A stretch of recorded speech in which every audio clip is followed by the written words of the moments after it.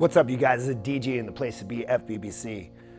Congratulations on this challenge. You no matter where you at, you might have been MIA for a little bit, but you know what? There's an opportunity for you to come and join us and get back and get reconnected. I remember not too long ago, well, I was a quitter for a long time. Uh, my parents, you know, they were kind of tired in investing in me because every time they did, I would I would quit on something, whether it be uh, sports, and they had to pay extra for it. You know, we came from a almost almost middle class, but not so quite. I mean, we we we struggled to make the ends meet. You know, and uh, every time I had a big, you know, motivation to do something, to go do a sport or whatever, it cost money for us.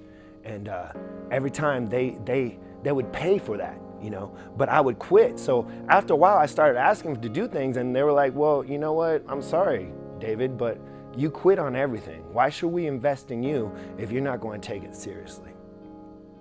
So I remember I was in junior high one day, and we were driving by the high school. I was about to 10. We were driving by the track, and I remember my dad said, look, look at the track right now. Look at the field. And it was in the heat of the summer.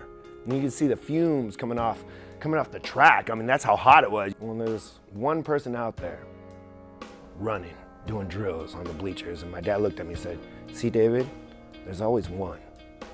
There's always one person behind training while everyone else is having fun. There's always one person there that's not going to give up, that's not going to settle for average. See, you don't get great in public by being average in private. You get great in public by taking little things and being great in private. I remember his name because when I, when I started attending high school, his name was Brandon Jackson. He was one of the fastest guys on our football team. He could lift the heaviest weights, but that's what I saw. But I had a glimpse into what he was doing, and I realized the method to his madness was his preparation. Like Kobe Bryant, showing up before a game and taking a thousand shots before the game even started. His commitment to excellence. See, we can pr pursue perfection, but perfection's never going to last. It's a pursuit of excellence that's going to last.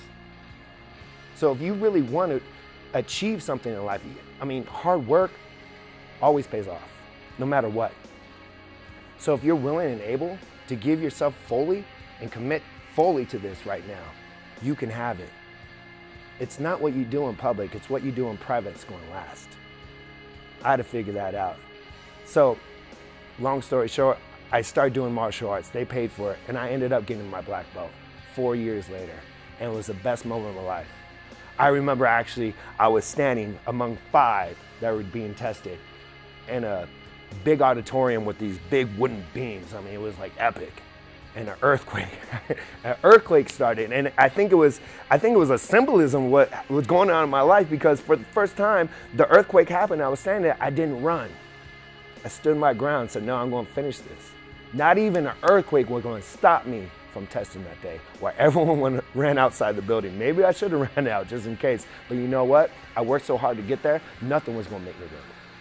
I was going to stand my ground, and whatever was in, coming for me, I was ready to fight for it. And I need you to fight for this right now, more than anything. Because that changed, that day changed the rest of my life and propelled me to the pursuit of excellence that I needed to be on. And if I would have ran, and if I would have quit, like I always did, I wouldn't be here today. So I'm asking you right now, as your coach, as a friend, as someone, that, as someone that's been there before, don't quit on yourself.